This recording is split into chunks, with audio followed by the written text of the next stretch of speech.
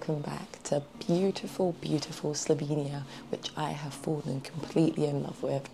It's a beautiful, crisp morning. I thought I'd record this outside, but I'll be quiet because I've got neighbours. I don't want to wake anyone up. But it's beautiful, and I'll show you some footage of the beautiful sunrise and the scenery because it's just a beautiful place. I keep saying beautiful, but it is.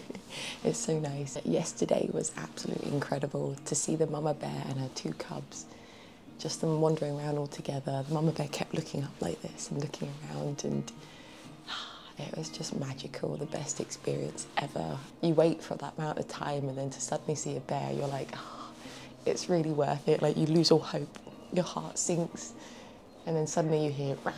and I'm like, it's a bear. So it was just so good, so, so good. Okay, so back to today's adventures. So we'll be going back out to another hide, I think a different one this time. There might be some snow this afternoon and there might be some tomorrow, so that would be a really cool element to the photos. Um, but I'll go back out there and hopefully see some bears again. And yeah, I'll see what happens today. I'll take both cameras again and I'm going to swap them out a bit, but I'll talk more about that. Um, so I don't bore you, I'll do that later. bye bye for now. Bye.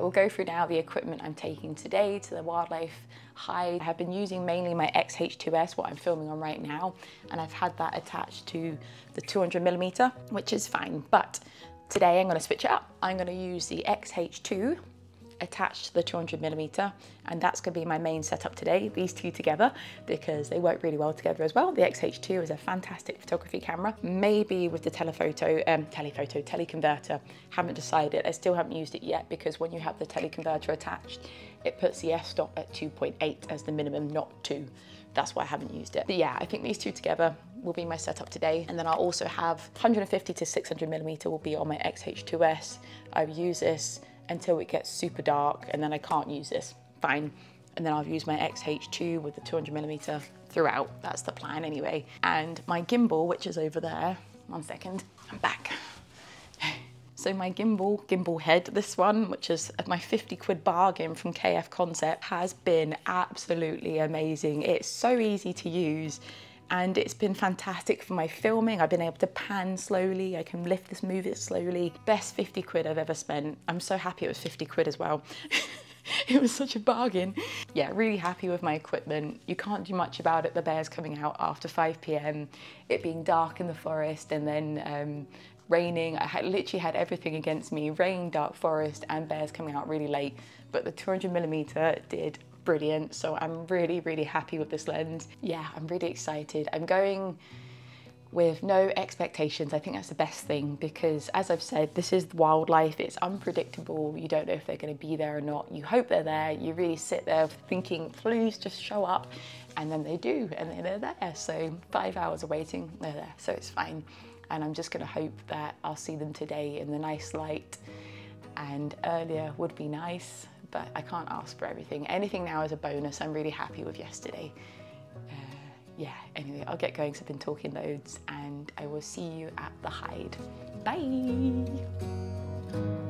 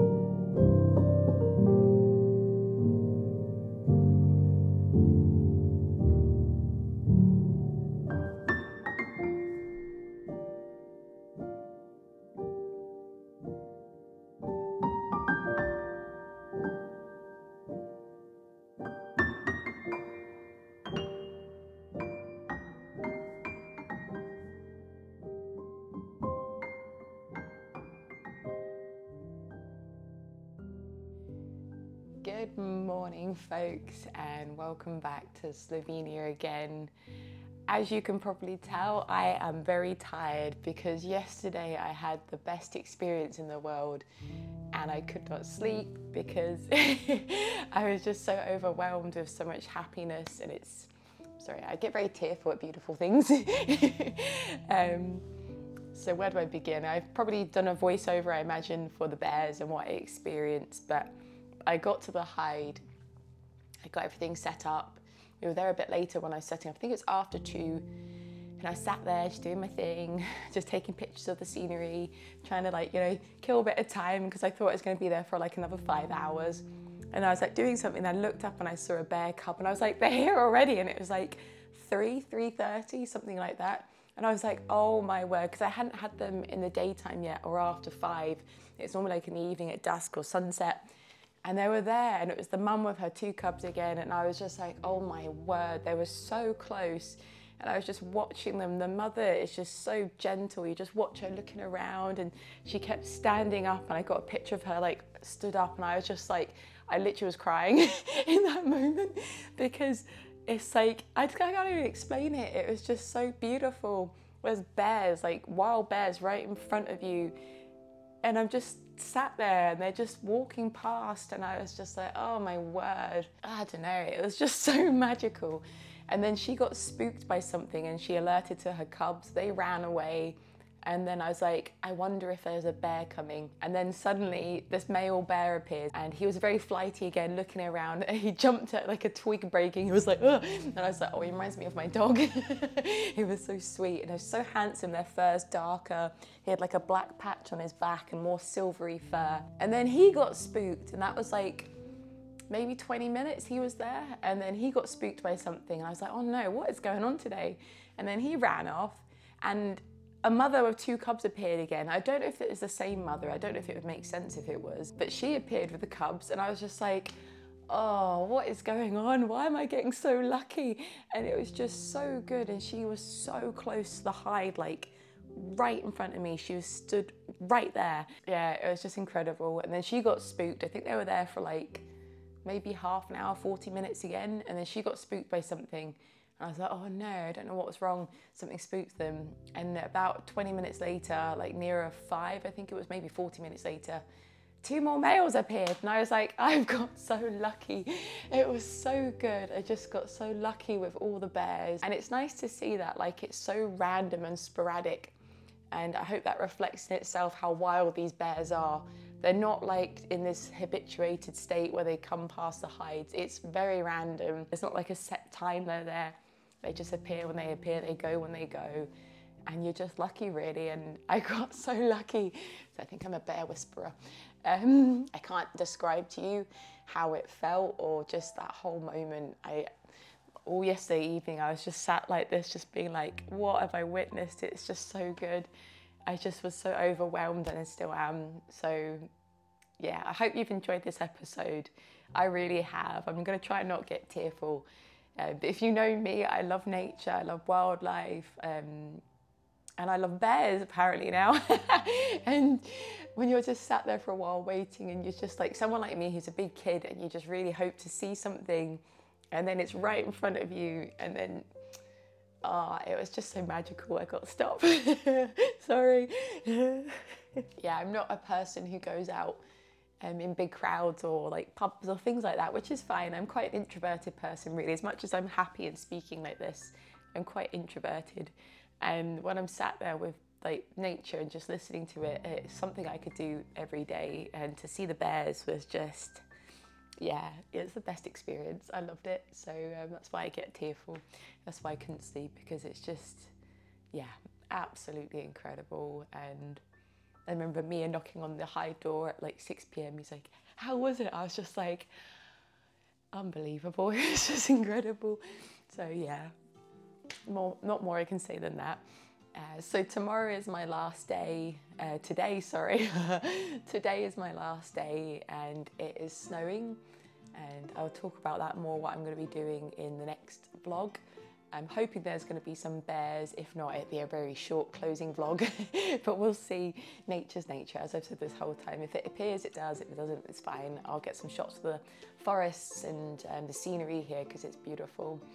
Um, but yeah, thank you very much for watching, and I will see you on the next episode. Last one in Slovenia in the snow. Goodbye for now. Bye bye.